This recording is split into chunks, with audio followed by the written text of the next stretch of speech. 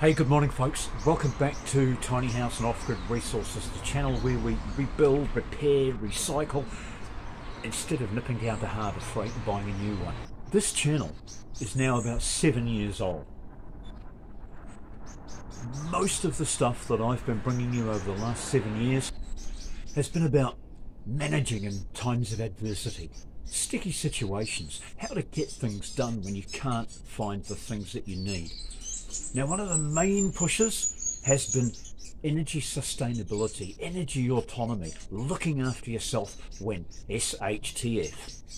You've seen me build wood stoves, you've seen me build rocket stoves, you've seen me experiment with uh, creating my own diesel from waste products. You've seen the GEET generator, you've seen me produce a little bit of hydrogen.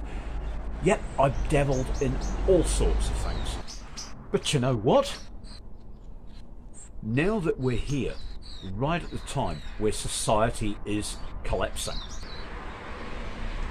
I know, I know, there's those of you out there who, as long as you can still get a big breakfast uh, before 10 a.m. at McDonald's, and your air fryer still works when you plug it in, you'll be quite happy and unconcerned, and you won't think that there's anything awry. But most of the people who watch this channel are interested in being one step ahead of the herd. So I've come right back to basics. As I say, I've looked at all these different forms of energy creation. Well, actually, it's not creation, it's energy transformation. We're turning one form of energy into a more usable form of energy. But as exciting and as interesting as all these different projects that we've done over the years have been, I keep coming back to the basics. And one of the basics is gasification. It's it's fusion. It's just like Back to the Future when Doc and Marty McFly discussed where they were going to get the 1.79 gigawatts of energy required to get the DeLorean to jump into a different time frame. Way back in the 1870s, right here in the town where I live, people were using the fusion principle, the, the gasification, to create a usable fuel from something that was all around them. That that was all around them was trees, wood, Wood gasification in the 1870s was very big around here. The gold mining rush that they were in the middle of was first of all powered by water wheels, then Pelton wheels, which is a high speed water wheel. Then they moved on to steam. But as soon as the gas gasification technology became available, they moved away from steam into much safer gasification. It's a fairly simple process. All you need is a highly insulated reaction space and a continuous feed of fuel. And then you need a way to capture the resulting gases and direct them to where they're going to be used. Now, over the last two weeks, I've been in the shed faffing about with this. And what I've done is basically put the three units together as tightly as I possibly can so that it remains mobile and um, compact because as you can see I'm a bit pushed for space around here. Now this home energy reactor that I've created will power any internal combustion engine up to around 30 horsepower. That means that once this thing is perfected, it's going to be able to run my generator, which will run the whole place electricity wise. I can run my log splitter, I can run my wood chipper, I can run my water blaster, and even my lawnmower. In fact, any four stroke internal combustion engine can be run on wood gas. Even diesel with a few more modifications. Two-stroke engines, they require a separate lubrication system that um, has to be intermittently applied to keep them running. Now this is doable. You can do this. If you get busy now, while we've still got YouTube, you'll be able to go and discover other people who are doing what I'm doing in different ways because it can be done in many ways. Look, It's not difficult. Yes, around the back there's a little bit of plumbing. There's various bits of pipe work and flanges and there is a 12 volt fan that uh, you do need to get the thing started. Once it's up and running, the internal combustion engine's own vacuum will pull the gases through and that fan's no longer required. But for a two to three minute period, you've got to find a way of pulling the gases through. If you're in the position to be able to build one of these things, I'm sure you'll be able to come up with a fan that will do the job. Now, if you want to be a mover and a shaker and stay ahead of the game, I'm urging you to have a look at my other videos. Subscribe to the channel, otherwise you're not going to get the notifications that let you know when I post updates on this. Because over the next few weeks I'm going to be working on this and working hard to bring you what works. I'd like everybody to be able to do what I'm doing here. This whole channel's about looking after the people who are important in your life.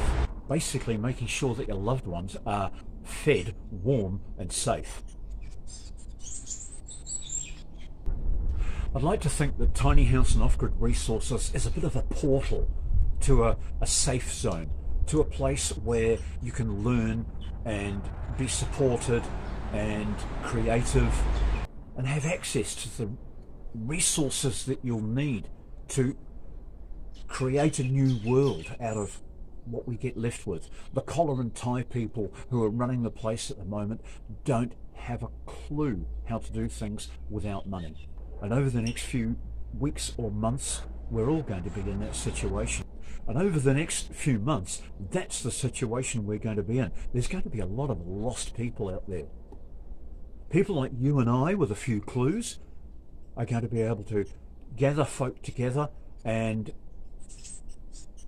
start moving people down a productive track where we can rebuild from what we have left lying around us.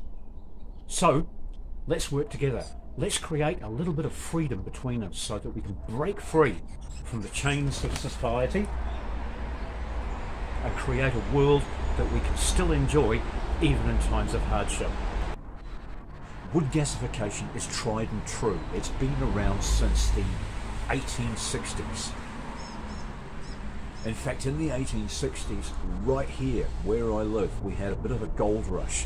And as the gold rush expanded and processing plants started popping up, these processing plants were first run by water wheels. Then they were run by steam engines.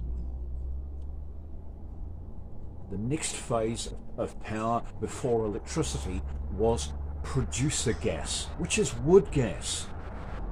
It's known by a handful of names. Syngas, which of course is synthesized gas, gas that's made. Producer gas, because these things produce it. Or it's also known by what the fuel is, wood gas or coal gas. Later on in your grandparents or great grandparents' time, which is the 1950s 1960s, it became known as natural gas. They were making it from coal. In fact, all across Europe, especially in England, every town had its gas plant, the gas works. It was marketed as clean burning natural gas. And yeah, it is a natural gas, but it doesn't just fall out of the ground. These people were producing it. It was synthetic. It was produced. Hence all these different names. What they were doing is cooking coal. As they cook coal, the volatile hydrocarbons fractionate off and are collected, cleaned, stored, and then pushed down pipes to Grandma's house, where Grandma can cook dinner on it and heat the house. Now, as exciting and as interesting as these other forms of energy that I've been working on seem to be, you can't beat the proven reliability of something that's been done over a 200 year period commercially and worked. In fact, in Korea today, because of their economy, the peasants, the average people, they're forced to use gasifier gas to run their vehicles and heat their homes. Kim Jong il is keeping North Korea a pretty secretive place. He plays his cards very close to his chest. They were actually doing rather well when they were supported by the former Soviet Union. But when the Soviet Union collapsed, so did their funding. North Korea has been living the lifestyle that you will be living within about two to three years. Sorry to say that, but it's um, but the truth is out there. We need to be looking at these alternatives. We need to school ourselves up so that we're able to manage when the collar and tie people and the big big house in the capital can't make things happen anymore because all they do from up there is issue directives and pull strings. There's no real work done in those circles. We're the people who do the work. We're the people who cut the firewood. We're the people who fetch the water. We're the people who cook the meals. Grassroots. It's up to us to keep society together. Now, as I said right at the beginning, we're in such a gradual state of change and we're constantly being placated by the media and the politicians that the average person doesn't have a clue what's going on. It's up to you and me to make this happen. And I believe that this is tried, true, simple, and possible with a little bit of training. I urge you to watch the other videos that I've done on this process. Go and join a forum, an internet forum that I've joined, which is called Drive on Wood. This is a wood gas forum out of the United States, but you know what? It's incredible how many Scandinavian people are on this group. It's incredible how countries like Norway, Sweden, Poland have all long since, just quietly, been playing with wood gas. My introduction to wood gas was in 1985. In 1985, I was in the middle of my apprenticeship as an engineer, and week by week, I was given amazing, interesting jobs. And one of the interesting jobs that I worked on in 1985 was a wood gasser for the Fiji Islands. You see, in the Fiji Islands, they've got um, a waste problem, and an energy problem, and a food production problem. So some bright spark over there had cottoned onto the idea of a wood gas generator powered by the hairy, shaggy, fibrous waste that comes around the outside of coconuts, crushed down into granular form and then pyrolyzed in a gasifier, would create a gas which could then run a turbine, and that turbine powers a local power station. So their food production is now also sorting out their waste problem and their power problem. And that was way back in 1985. This is being done all over the world, just quietly on an industrial scale. And down at the bottom here, the plebs like us don't get to see these things. So what the purpose of these videos is, is to help you understand the basic concepts behind gasification show you how you can build a device on various scales to produce enough gas to provide your energy needs. So buckle up, grab a coffee, sit down, subscribe to the channel because if you don't subscribe to the channel you won't get the notifications and you won't see the upcoming videos. But in these upcoming videos, plus the ones that I've already posted, you'll be seeing how gasification works, how you can build a gasifier, what type of gasifier you need to be working on to get the results that you need. And later, when I've learned enough about how to do it, I'm going to be running my old Range Rover on wood gas. But how the process works is basically you've got to get the wood incredibly hot and then you've got to get the gases that come off that wood back down to a normal temperature again. The operating zones of the system are clearly defined. This is just a feed hopper. This is the actual reactor. The rest of it is to do with cleaning and cooling the gases. The whole thing has to remain pretty much airtight so that you can control the small amount of air that is let in with this device here.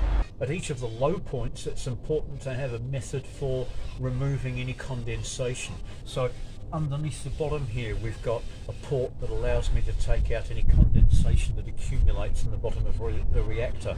There's a jar on the bottom of the cyclone that allows me to remove any contaminants that fall out of the cyclone because that's what the cyclone is designed for. It's designed to remove contaminants but a secondary feature of the cyclone is that it also does quite a bit of initial cooling.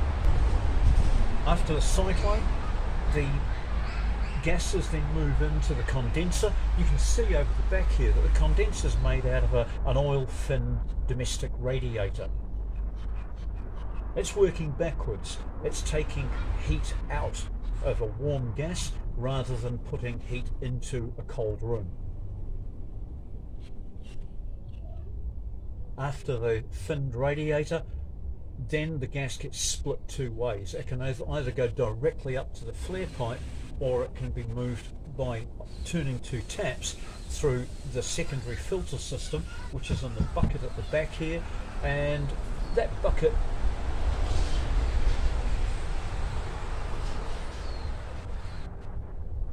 is designed so that it's conf is designed so that it can be used with various different filter mediums so that I can experiment. This whole thing is for experimentation. I'm not planning on running anything off it initially. This is just so that I can learn about wood gas.